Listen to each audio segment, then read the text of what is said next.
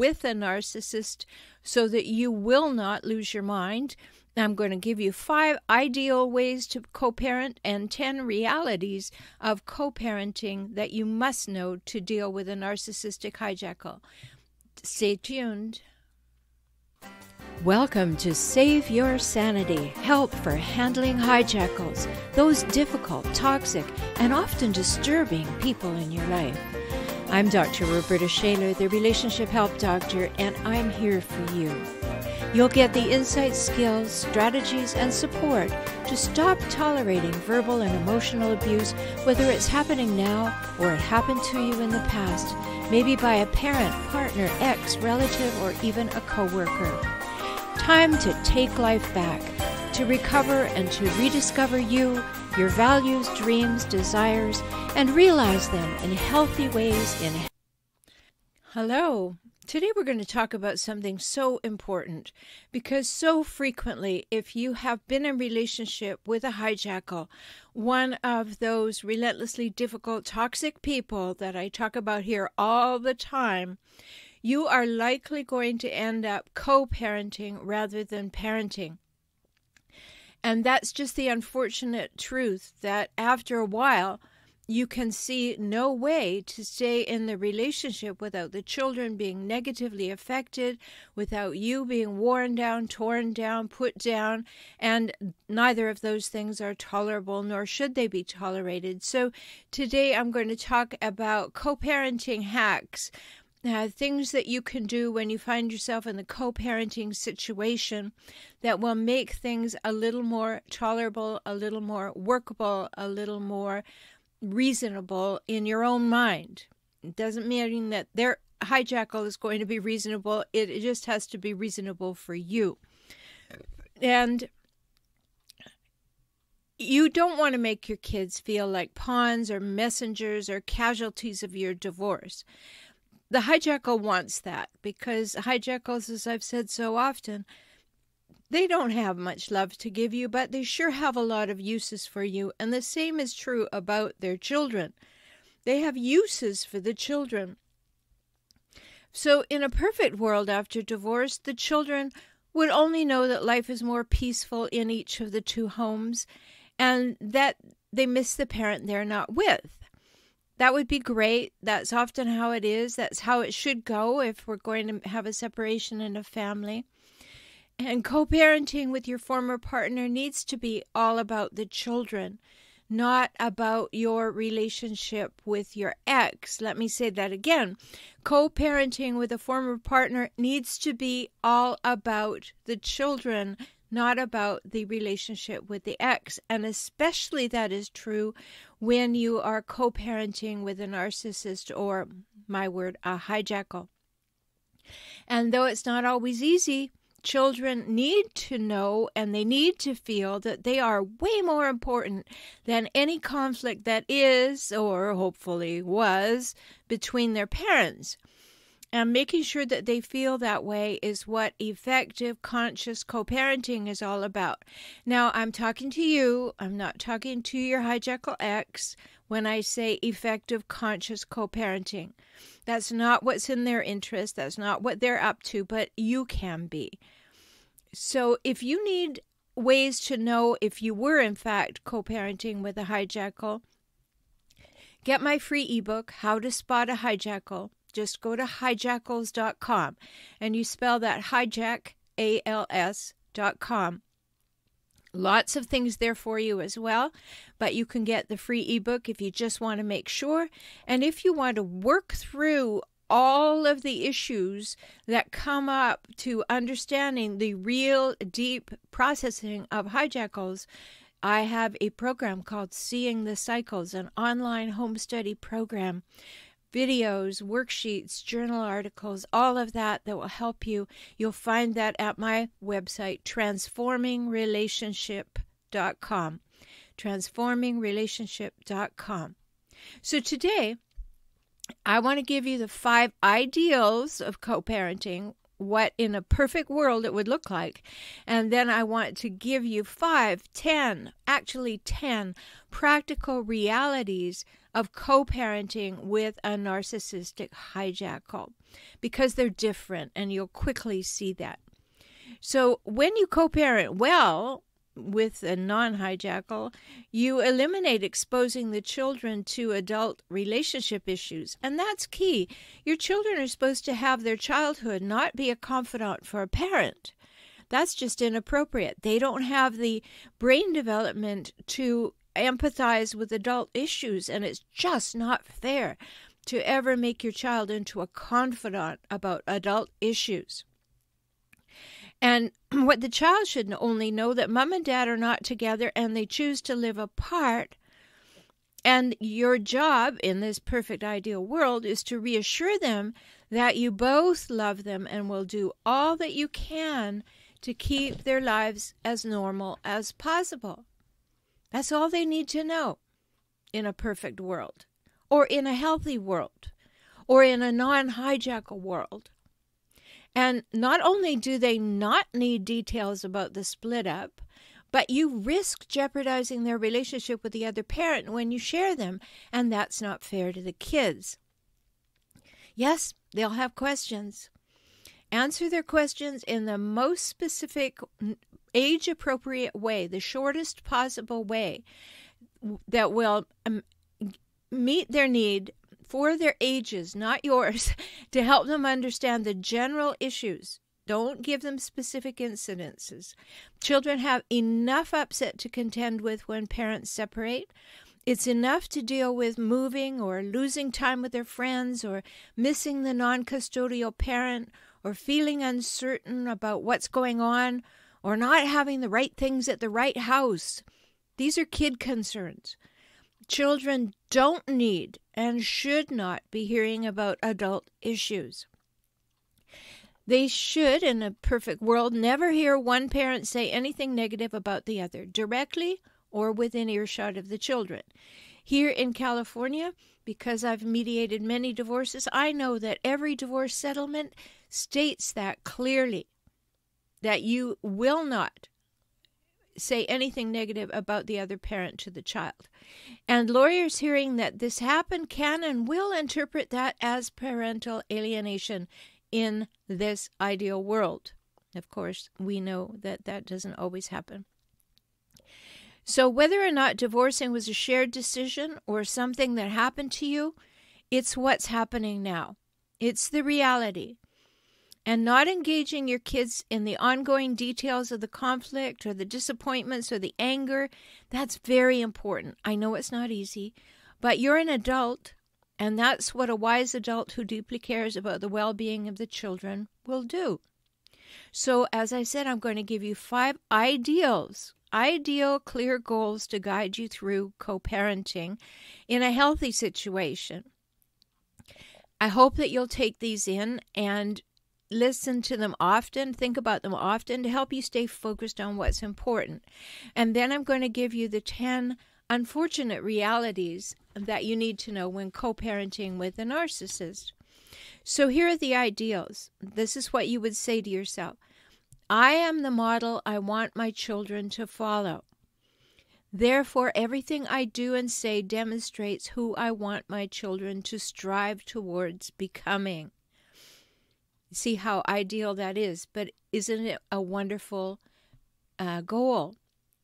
I'll read it again because I've got them written down. I'll put them in the show notes for you, these ones, these affirmations. I am the model I want my children to follow. Therefore, everything I do and say demonstrates who I want my children to strive towards becoming. Number two, ideal healthy co parenting goal. I communicate with my ex in the way I wish for him or her to communicate with me. I choose collaboration and conversation over conflict and acrimony. Again, I communicate with my ex in the way I wish for him or her to communicate with me. I choose collaboration and conversation over conflict and acrimony. Number three, I focus on my children and what keeps them healthy, physically, mentally, and emotionally. That includes doing what is in their best interest first. So you can definitely do this ideal one no matter if you're co parenting with a hijackal. I'll say it again. Number three, I focus on my children and what keeps them healthy, physically, mentally, and emotionally healthy. That includes doing what is in their best interests first. Number four, I turn my attention from what I don't like about my ex to what he or she does well for the children. It's about the kids, not what my personal issues are with my ex. Okay, that's a tough one, but you can do it even with a hijackal X. I'll say it again. Number four, I turn my attention from what I don't like about my ex to what he or she does well for the children. It's about the kids, not what my personal issues are with my ex. And the last ideal, healthy co parenting goal I allow my children to enjoy their childhood and ensure they're only concerned with age appropriate thoughts, feelings, and actions. I protect them from being pawns, messengers, or casualties of my divorce.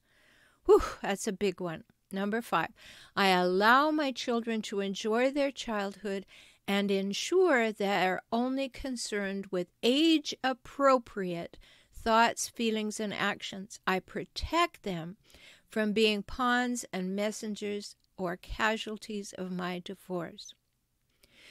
Being your best self can prove difficult. I know when everything in you wants to blame and shame and complain. I know. I've been divorced with children too. I divorced a hijackal. I understand down to my toes, believe me. You may have deep resentments after years of a rocky marriage or fresh scars that the divorce brought on. I know it can feel like your ex should pay dearly for it and for a long, long time. Leave that to the court because if you live in that mindset, you're going to hurt yourself. You have to get your head on straight and do what's best for the kids and ask for help to gain a healthier perspective. You know, I walk with many people who are making the decision should I go? Should I stay? If they make the decision to leave, how to plan and do it well, then how to choose an attorney, how to walk through the process of separation and divorce, how to deal with the co parenting situation. If I can help you, go to transformingrelationship.com. If you know you're ready to talk to me, I have a new client one full hour offer, $97 only, and you go to beaclient.com beaclient.com. So, no matter how frequently you have to remind yourself, and I know the difficulties of doing so, you need to put the health and well being of your children first. And so, let's talk now about the down and dirty 10 realities that you actually need to embrace. You need to understand. You need to let yourself know these things have to happen when you are co parenting with a narcissistic, sociopathic, any of those things, a hijackal ex. These are things that will help you get through it in the best and healthiest way for you and your children. And the sooner you do them, the better you'll feel. So here's number one lower your expectations. Just because you got a divorce, that person's not going to change. In fact, now they're angrier, they're more upset, they're more vindictive, they more want to win.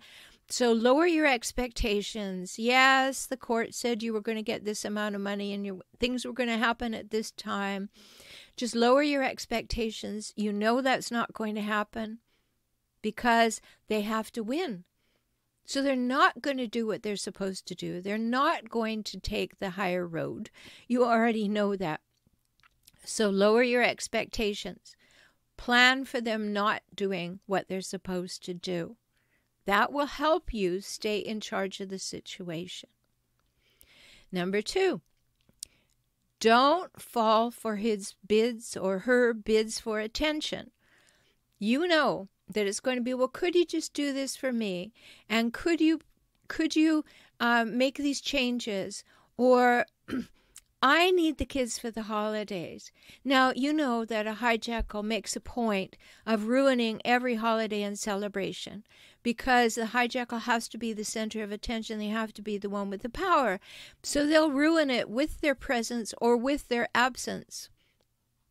And this is a bid for attention.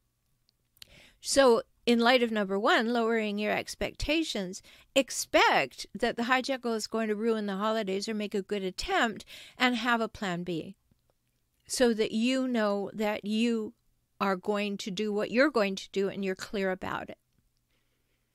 Okay, number three, communicate only about the kids and refuse to communicate about anything else. If you have an attorney, That's the person they can communicate with. If you can't communicate with them well by talking, make a clear boundary that all communication will be by text or email. Now, I highly recommend that anyway if you're with a volatile hijackal and the reason for that is then you have a written record and it goes into your documentation.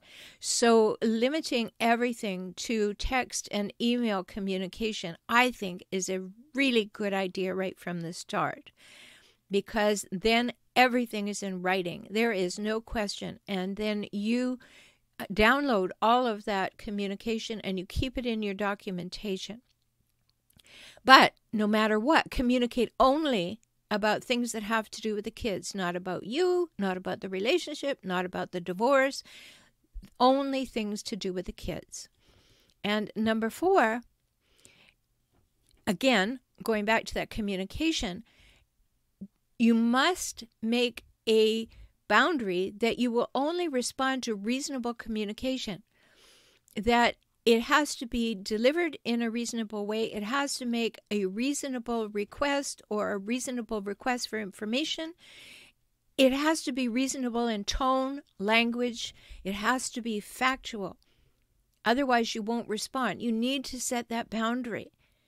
It must be reasonable communication. And again, refer to my earlier comment best in writing. Okay. Number five, make a boundary, make a clear agreement, make a clear statement that you have 24 hours to respond to any communication of any kind. You do not have to respond before 24 hours, but you will and agree to respond within 24 hours. This gives you the opportunity to hear something, go a little crazy, settle down, and then compose your response or to compose your response in Notepad, never in your text or email, and then go back when a few hours have passed and see if that's really what you want to say. So, a 24 hour response, except in cases of emergency, will save your sanity. It will save your relationship too, and it will allow you to stay emotionally grown up. That's important because you don't want any explosive things going from your end that your ex is going to use in court to show what an unreasonable person you are. Okay, number seven. Recognize that a hijackal is going to project. That means that what they fear is true about themselves, they're going to say is true about you. What they know they're going to do, they will say you're going to do. You've probably had the projection happen in the history where you say something and they say, oh no, that's you. Well, know that they're going to project on you one way or the other so, no, it sounds like this the hijackal says, I know you don't care about the kids. You need to know that that's a projection. And what's really going on in the hijackal's body is, I don't care about the kids. So they project it out onto you and make it your feeling or your thought or your need or your want when actually it's theirs. So you need to recognize that that's what's going on. They're telegraphing what they're thinking, feeling, what they're going to do. And because they're telling you, you do it. And when you get the hang of that, when you start to realize, ah, okay, it's a bit like a poker tell, they're telling me This is how their mind is working, but they're telling me it's how my mind is working. You get a lot more information that way. So, very important to recognize the projections because they're always there. They always were there. Okay, number eight is clear. I mentioned it earlier in the ideal, but I want to mention it again here in the realities. Be the best parent possible. Be who you want your kids to model themselves after. Be the reasonable one. Be the one who is not bringing up problems in the relationship that don't have to bear on the children's need to know or don't bear directly on the children's safety. Talk about the hijackal with your friends, with your therapist, but don't talk about the hijackal with the children because you want to be the best parent you can. You want to be the loving parent who is there for them, the parent who is interested in them, the parent who understands them. And that's what you want to be demonstrating. So be that very best parent. I know it's difficult when you're constantly being pulled off center by emails or texts or hearing something they said to somebody else's smear campaign about you. I know it's very difficult. Remember, I've been there, I've walked that, I know it. So I know what you're going through. So I'm not saying these things from a lack of knowledge of actually having done it. It's not textbook stuff for me. I have done this, I have had to do this. Number nine, always, always be with the kids. When the hijackal says, you know, I have to change our weekend. Can I change the weekend? I want to do this this weekend. Will you take the kids? You say, Of course I'll take the children, no matter if it's inconvenient for you or not. Here's why. If you say, Yes, I'll take the children, but I will not trade weekends, I will take the children and we will keep the same schedule, and then you document that, then you begin to show that the hijackal has uses for the children. It's not because the hijackal wants the time, he wants the convenience, or she wants to do what she wants to do and wants you to become the person that they can rely on, she can rely on. So whether you have a male or a female hijackal, it doesn't matter. There are equal numbers of both. But the thing is, when you are asked to take the children, take them and document them. Don't turn it into a fight because what will happen in court if this becomes a pattern is that you will be able to demonstrate that they don't need that much custodial parenting time because look what they've done. This is why you need great documentation. And number nine, validate your kids. So very important. And that means that you are interested in your children. The hijackal is not going to validate the children. You need to validate the children. That means that you are interested in their feelings, that you say, Oh, how do you feel? Oh, when did that start? What do you think is happening that makes that feeling? And you get interested in them and validate them. What a hijackal will do is say, Oh, you shouldn't feel like that. That's not validation, that's writing them off. You want to validate them because they're going through a tough time too. They don't know which parent to emulate, they know it's really difficult, but they have each of your DNA and they're not sure what to do very difficult and they're going through different levels of brain growth and they are unsure. So you be sure to validate. That means don't be too busy to always have time where you're just hanging with the kids and they can talk. Don't overschedule your children. The narcissist will find things for the kids to do so they don't have to spend time with them, and they think it makes them look like a good parent to say the kids are so busy.